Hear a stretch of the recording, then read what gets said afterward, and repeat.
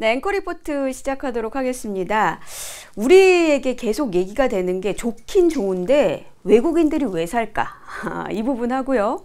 아마 그 선물 시장이 아니라 적극적으로 현물 시장 쪽으로 움직이기 시작한 건 12월 6일부터였던 걸로 제가 기억을 하고 있습니다. 그리고 왜 IT에만 집중이 될까라는 점에 대해서 뭐 사실 2분기부터 어 반도체주에 대한 바닥에 대한 이야기는 많이 나왔는데 그때는 별로 좀 의미들을 많이 찾지를 않는 그런 외국인들의 포지션이었거든요. 그런데 최근 들어서 굉장히 강력하게 들어오고 있는 그런 상황 인데 왜 그럴까를 어 우리는 외국인이 아니기 때문에 외국인들이 지금 내고 있는 리포트나 좀 인터뷰를 통해서 한번 살펴보고자 합니다. 오늘 어, 두 인터뷰를 한번 확인해 보려고 하는데요. 자, 첫 번째부터 보도록 하겠습니다.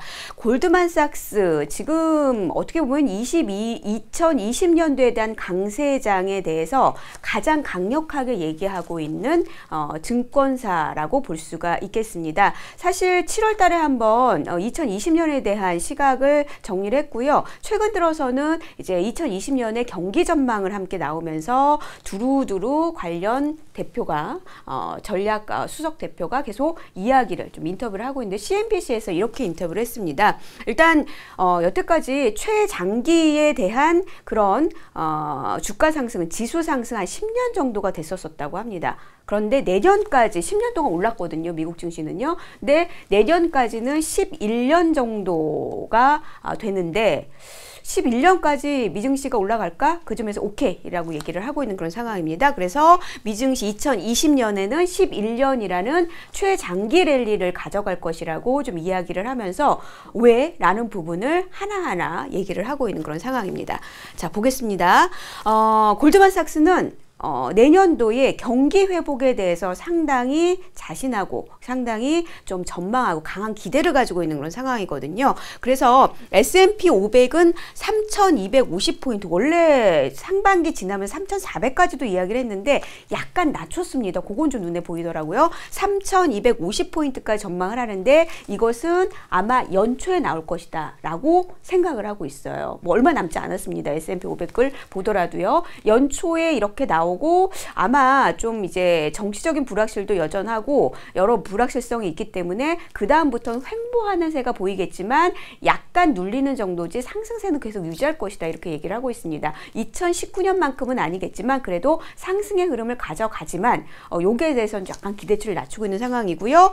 어, 그 이유에 대해서는요 이익 사이클의 회복과 그리고 경기 확장에 대한 기대감이 크기 때문입니다. 사실 지금 실적이 나오지 않아서 어, 어, 지수가 어, 실적 대비해서 너무 올라간 거 아니냐라는 얘기를 하고 있는 그런 분석가들도 많은데 그렇지 않다라고 보고 있는 상황이고 요. 그래서 결국 경기 회복에 대한 베팅을 하라 얘기를 하고 있습니다. 그래서 경기 민감주에 대해서 많이 이야기를 하고 있고요. 어, Russell 천은요, 어, 미국 시장의 시가총액 천 개 종목을 어, 뽑아낸 겁니다. 이쪽의 지수에 상당히 ETF를 많이 보고 있는 상황이고요. 그 중에서 구체적으로 어, 어, 경기 민감주이자 그리고 또 하나 value가 낮은 종목을 찾아냈는데 한 다섯 종목이 나오더라고요. CBS, Snap-on, 그리고 Kohl's, Urban Outfitters, TCF Financial 이렇게 나오고 있는데요. 대체적으로 의류, 소비 쪽의 종목들입니다. 금융도 있고요. 이런 종목들에 대해서 어, 주목하는 어, 뭐 최선호주도 제시하는 그런 얘기를 했었습니다.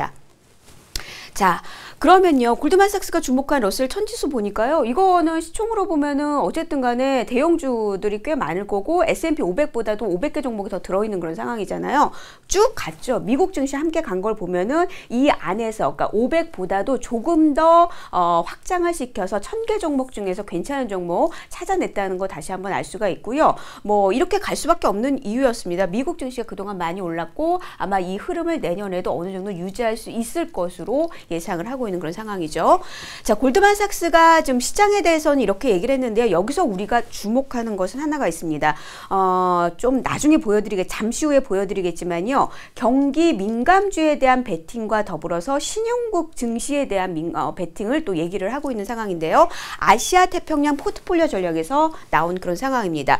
특히 이 부분이 우리 증시에서 많은 이야기를 했습니다. 한국 증시를 비중 확대로 뭐 지금 현재 뭐 아웃퍼폼, 그러니까 어, 소위 말해서 오버 어, 아웃퍼폼 정도, 그러니까 뭐 시장 수익률 정도로 예상을 했었지만 지금 비중 확대로 투자하기는 상향 조정했고요. 이와 더불어서 대만과 인도를 상향하는 모습이 나타났습니다. 같이 얘기를 했어요. 자, 그래서 보니까요 경기 반등과 특히 반도체의 수익성 회복을 제시를 하고 있고요. 어, 내년에는 5G 인프라 쪽과 그리고 스마트폰도 만만치 않다라고 얘기를 하고 있습니다. 그래서 반도체 이익 사이클에 대해서 대단히 많이 관심을 갖고 있는 상황이고요. 이렇게 된다면 반도체 중심의 증시가 상당히 좋을 것이라 보고 있습니다. 그렇기 때문에 우리나라와 대만이 함께 들어가 있는 그런 상황이고요. 그리고 우리 한국 증시에 대해서는 수출 의존도가 높은 개방형 경제이기 때문에 어, 이렇게 글로벌 경기가 회복되는 시기에는 가장 큰 수혜를 받을 것이다라고 얘기를 한 그런 상황들이 바로 골드만삭스의 아시아 태평양 포트폴리오 전략에서 나온 그런 상황입니다. 비중 확대 전략이 바로 여기서 나왔고요. 경기에 대해서 조금 보도록 할까요? 여기서 좀 눈에 띄는 게요. 글로벌 경기 회복을 전망하고 있는데요. 연초에는 미국 증시가 오르다가 조금은 이제 횡보 장세가 나타날 것이다 라고 보는 게 2019년에 골드만삭스가 미국의 성장률을 한 2.3% 봤는데 2020년에 크게 오르지 않을 것으로 예상을 하고 있어요. 쭉 보시게 되면은 그래서 선진국의 어, 지금 증시 쪽, 그러니까 선진국 지역들의 경기의 흐름들을 보게 된다면 뭐 어, 내년이나 어, 올해나 비슷할 것으로 보고 있는데 다만 다만 이머징 쪽을 보시게 되면은 상당히 성장률이 나올 것으로 보입니다. 여기에 주역은 대체적으로 인도가 되고 있는 그런 상황이고요. 사실 지금 현재 중국은 좀 더 경기가 위축될 것으로 보이는데 그럼에도 불구하고 매력도는 대단히 높다라고 보고 있습니다. 증시가 많이 떨어져서 그런 것 같습니다. 그런 점에서 이머징 마켓에 대한 어, 관심도를 더 높이고 있는 상황이 바로 골드만삭스에서도 나오고 있는 그런 흐름이고요. 그리고 미국의 경기 침체 확률은 지금 보면은 recession에 대한 이야기 경기에 대한 이야기가 상당히 좀 눈에 들어왔습니다. 리포트를 통해서 확인해 보시면 되겠지만 20%로 보고 있습니다. 그러니까 recession이 어, 지금 나왔던 아 지금 뒤로 갔는데요. 예, 지금 보여지고 있는데요. 지금 이제 쭉 올라갔던 어, 이때가 바로 recession이 뭐, yellow 색깔, 노란 색깔로 그려져 있는 건데 이거 대비해서는 경기 침체가 거의 없다라고 보고 있는 상황이죠. 자, 그래서요. 요거와 비슷하게 나왔던 게 뭐냐면 펀드 매니저 어, Merrill Lynch 증권에서 상당히 유명한 survey가 있죠. 글로벌 펀드 매니저들의 12월 설문조사를 해봤는데요. risk on입니다. 여기서도 역시 같이 나왔습니다. 동일하게 나왔는데요. 미국의 recession 확률이 훅 떨어져 버렸습니다. 예, 그 부분에서 경기 침체 내년에는 거의 없다라고 얘기를 하고요. 경기의 회복 가능성에 대해서 지금 이제 실제적으로 자금을 운영하는 어, 펀드 매니저들이 어, 여기에 베팅을 하고 있는 것으로 나타나고 있습니다. 이게 지금 survey가 12월 6일부터 12월 11일까지 진행이 된 거거든요. 상당히 희한하게도 우리 증시에서 외국인들의 매수가 들어왔을 때랑 유사하게 좀 나타나고 있습니다. 그래서 오히려 주식 비중을 12월에 높이는 게 펀드 매니저들 사이에서 나타나는 것도 여기서 확인이 되고 있습니다. 그래서 Merrill Lynch의 내년도 전망은요 melt-up입니다. 그러니까 어, 리스콘에 대한 또 다른 그런 표현으로 멜톤을 많이 얘기를 하고 있는데 그래서 내년도에 대한 기대감을 메릴린치도 많이 가지고 있는 상황입니다. 자 이거보다 조금 더 이머징 증시에 대해서 주목을 하는 게 바로 짐 폴슨입니다. 어, 월가에서 상당히 유명한 애널리스트인데요. 세계 경기 반등 시에는 이머징 시장이 최고다라고 얘기를 하고 있고요. 그 부분에 대해서 CBS 인터뷰를 통해서 얘기를 아, CNBC 인터뷰를 통해서 얘기를 하고 있는 상황입니다. 어, S&P 500도 올라갈 겁니다. 그리고 밸류에 부담 없다라고 인터뷰를 얘기를 하고 있는데요. 하지만 내년도는 글로벌 경기의 반등 시기라는 점을 주목을 하고 있고요. 이때가 2012년부터 2013년, 2017년부터 2018년 얘기를 하고 있고 이때 가장 수익률이 어, 높았던 쪽은 이머징 증시다라고 이야기를 하고 있습니다. 그래서요. 역시 경기 민감주에 대한 어, 주목도를 높이고 있는 상황인데요. 중소형 기술 금융 산업재에 대해서도 주목을 해보자. 오히려 미국 증시보다는 아마 emerging 증시 쪽의 수익률이 더 좋게 나타날 확률이 높다. 2020년에는 이렇게 얘기를 하고 있습니다.